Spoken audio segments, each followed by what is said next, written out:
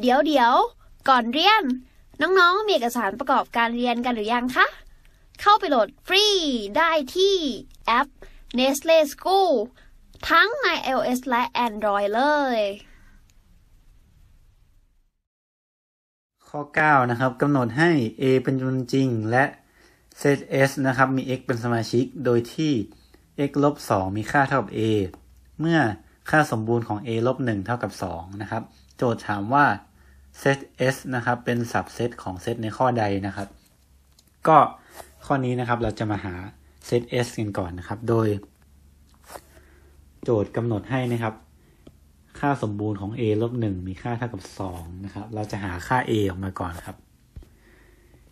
ค่าสมบูรณ์ของ a ลบ1มีค่าเท่ากับ2นะครับตัวนี้นะครับเราจะสรุปได้เลยนะครับว่า a ลบ1นะครับ มีค่าเท่ากับ 2ไม่ก็ลบ2นะครับ เพราะว่าตัวแอป2นะครับ ก็เท่ากับ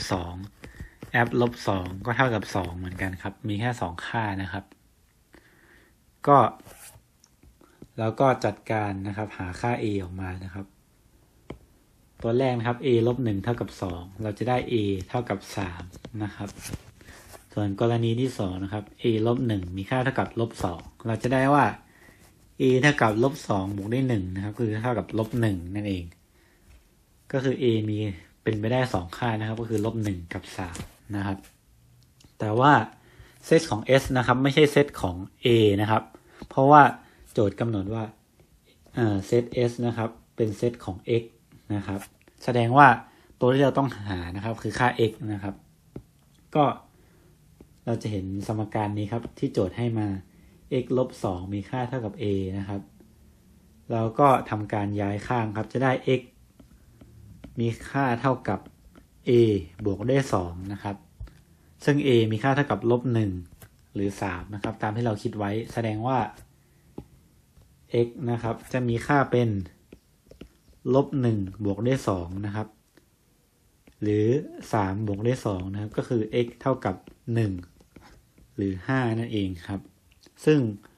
แสดงว่าเราเขียนเซต s ได้ดังนี้ครับ s มีค่าเท่ากับหนึ่งหรือห้านะครับ เป็นเซตของหนึ่งหรือห้า